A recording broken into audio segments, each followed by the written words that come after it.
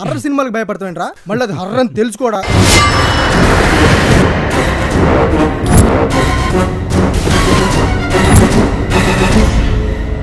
దృష్టిలో భార్య అంటే నచ్చి తెచ్చుకునే బాధ్యత. పిల్లలు మొయ్యాలనిపించే బరువు.